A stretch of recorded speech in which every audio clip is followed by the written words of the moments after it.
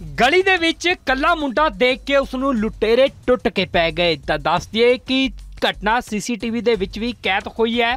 ਤਸਵੀਰਾਂ 'ਚ ਦੇਖਿਆ ਜਾ ਸਕਦਾ ਹੈ ਕਿ ਇੱਕ ਸ਼ਖਸ ਗਲੀ ਦੇ ਵਿੱਚ ਪੈਦਲ ਤੁਰਿਆ ਆ ਰਿਹਾ ਹੈ ਤੇ ਉਸ ਦੇ ਠੀਕ ਪਿੱਛੇ ਇੱਕ ਬਾਈਕ ਦੇ ਉੱਤੇ ਦੋ ਹੋਰ ਸ਼ਖਸ ਆਉਂਦੇ ਨੇ ਅਤੇ ਆਉਂਦੇ ਸਾਰ ਹੀ ਜੋ ਗਲੀ ਦੇ ਵਿੱਚ ਪੈਦਲ ਜਾ ਰਿਹਾ ਹੁੰਦਾ ਉਸ ਨੂੰ ਟੁੱਟ ਕੇ ਪੈ ਜਾਂਦੇ ਨੇ।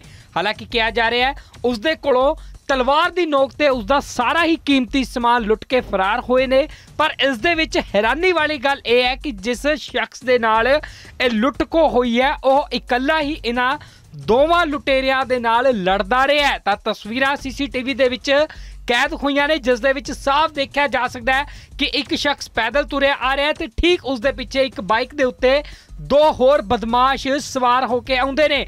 ਕਿਹਾ ਜਾ ਰਿਹਾ ਕਿ ਆਉਂਦੇ ਹੀ ਉਹ ਜੋ ਗਲੀ ਦੇ ਵਿੱਚ ਪੈਦਲ ਜਾ ਰਿਹਾ ਹੁੰਦਾ ਨੌਜਵਾਨ, ਉਸ ਨੂੰ ਰੋਕ ਲੈਂਦੇ ਨੇ, ਉਸ ਨੂੰ ਤਲਵਾਰ ਦਿਖਾਈ ਜਾਂਦੀ ਹੈ ਅਤੇ ਉਸ ਦੇ ਕੋਲੋਂ ਜੋ ਉਸ ਦਾ ਫੋਨ ਹੈ, ਪਰਸ ਹੈ, ਉਸ ਨੂੰ ਖੋਣ ਦੀ ਕੋਸ਼ਿਸ਼ ਕੀਤੀ ਜਾਂਦੀ ਹੈ। ਪਰ ਉਹ ਨੌਜਵਾਨ ਡਟਿਆ ਰਹਿੰਦਾ ਹੈ, ਉਹ ਉਹਨਾਂ ਦਾ ਵਿਰੋਧ ਕਰਦਾ ਹਾਲਾਂਕਿ ਉਹਨਾਂ ਦਾ ਸਾਹਮਣਾ ਵੀ ਹੁੰਦਾ ਇੱਕ ਦੂਜੇ ਨੂੰ ਧੱਕਾ ਮੁੱਕੀ ਵੀ ਹੁੰਦੇ ਨੇ।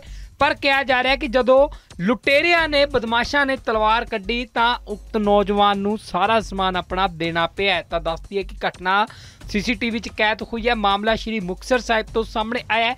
ਹਾਲਾਂਕਿ ਇਸ ਵੀਡੀਓ ਦੇ ਲਗਾਤਾਰ ਜਿੱਥੇ ਵਾਇਰਲ ਹੋ ਰਹੀ ਹੈ, ਉੱਥੇ ਹੀ ਇਸ ਦੇ ਨਾਲ ਦੀ ਇੱਕ ਹੋਰ ਵੀਡੀਓ ਵੀ ਵਾਇਰਲ ਹੋ ਰਹੀ ਹੈ।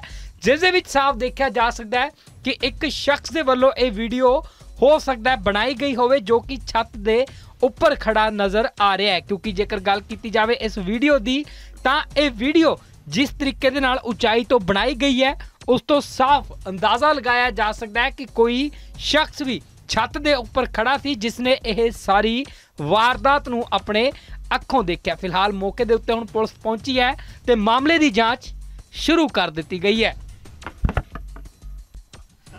ਗਲੀ ਦੇ ਵਿੱਚ ਕੱਲਾ ਮੁੰਡਾ ਦੇਖ ਕੇ ਉਸ ਨੂੰ ਲੁਟੇਰੇ ਟੁੱਟ ਕੇ ਪੈ ਗਏ। ਤਾਂ ਦੱਸ ਦਈਏ ਕਿ ਘਟਨਾ ਸੀਸੀਟੀਵੀ ਦੇ ਵਿੱਚ ਵੀ ਕੈਦ ਹੋਈ ਹੈ। ਤਸਵੀਰਾਂ 'ਚ ਦੇਖਿਆ ਜਾ ਸਕਦਾ ਹੈ ਕਿ ਇੱਕ ਸ਼ਖਸ ਗਲੀ ਦੇ ਵਿੱਚ ਪੈਦਲ ਤੁਰਿਆ ਆ ਰਿਹਾ ਤੇ ਉਸ ਦੇ ਠੀਕ ਪਿੱਛੇ ਇੱਕ ਬਾਈਕ ਦੇ ਉੱਤੇ ਦੋ ਹੋਰ ਸ਼ਖਸ ਆਉਂਦੇ ਨੇ ਅਤੇ ਆਉਂਦੇ ਸਾਰ ਹੀ ਜੋ ਗਲੀ ਦੇ ਵਿੱਚ ਪੈਦਲ ਜਾ ਰਿਹਾ ਹੁੰਦਾ ਉਸ ਨੂੰ ਟੁੱਟ ਕੇ ਪੈ ਜਾਂਦੇ ਨੇ।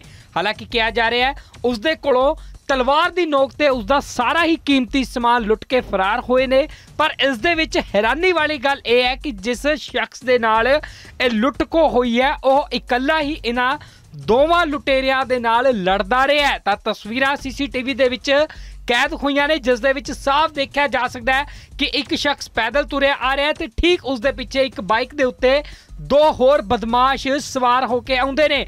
ਕਿਹਾ ਜਾ ਰਿਹਾ ਕਿ ਆਉਂਦੇ ਹੀ ਉਹ ਜੋ ਗਲੀ ਦੇ ਵਿੱਚ ਪੈਦਲ ਜਾ ਰਿਹਾ ਹੁੰਦਾ ਨੌਜਵਾਨ ਉਸ ਨੂੰ ਰੋਕ ਲੈਂਦੇ ਨੇ ਉਸ ਨੂੰ ਤਲਵਾਰ ਦਿਖਾਈ ਜਾਂਦੀ ਹੈ ਅਤੇ ਉਸ ਦੇ ਕੋਲੋਂ ਜੋ ਉਸ ਦਾ ਫੋਨ ਹੈ, ਪਰਸ ਹੈ ਉਸ ਨੂੰ ਖੋਣ ਦੀ ਕੋਸ਼ਿਸ਼ ਕੀਤੀ ਜਾਂਦੀ ਹੈ। ਪਰ ਉਹ ਨੌਜਵਾਨ ਡਟਿਆ ਰਹਿੰਦਾ ਉਹ ਉਹਨਾਂ ਦਾ ਵਿਰੋਧ ਕਰਦਾ ਹਾਲਾਂਕਿ ਉਹਨਾਂ ਦਾ ਸਾਹਮਣਾ ਵੀ ਹੁੰਦਾ ਇੱਕ ਦੂਜੇ ਨੂੰ ਧੱਕਾ ਮੁੱਕੀ ਵੀ ਹੁੰਦੇ ਨੇ।